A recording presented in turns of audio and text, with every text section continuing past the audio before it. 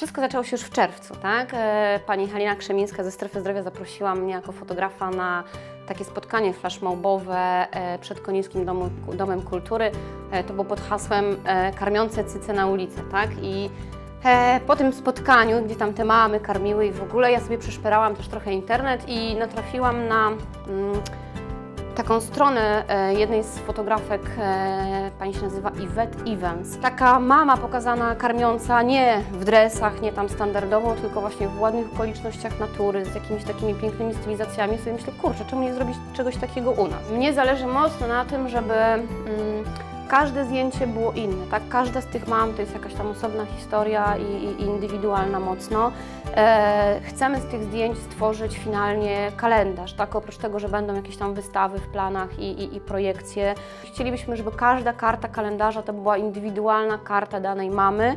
Mamy, jak przychodzą na zdjęcia, to tak, uprzednio się spotykamy na, na mnóstwie rzeczy, które musimy ustalić. Są pod opieką e, fryzjera e, i, i wizerzysty i wtedy swobodnie mogą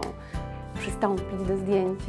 Mocno wyszliśmy poza konin, tak? To, to ja się bardzo z tego cieszę, bo to znaczy, że jednak e, ta, ta, ta siła działania, jak ośmiorniczka, tak ta informacja się roz, rozrasta. I faktycznie jest tak, że udało nam się wyjść poza konin tych zgłoszeń. Ja nie mówię, że to musi być tylko konin, aczkolwiek no, taki był początkowy zamysł, żeby działać lokalnie i żeby ta kraina taka była nasza konińska tutaj, a to się okazało, że, że, że no, zainteresowanie jest na tyle duże, że poza ten konin wyszliśmy. Stąd też mniej więcej ten projekt, że różnie do tego karmienia piersią się podchodzi. E, W związku z tym na mapie zaznaczamy miejsca, w których, e, w których mamy są e, z maluszkami mile widziane i, i, i, mogą swobodnie karmić. To jest rzecz, jakby nie patrzeć, mocno naturalna. To nie jest żadne, żadne wydziwianie, to nie jest tworzenie czegoś sztucznego, tylko tak naprawdę sama natura, tak?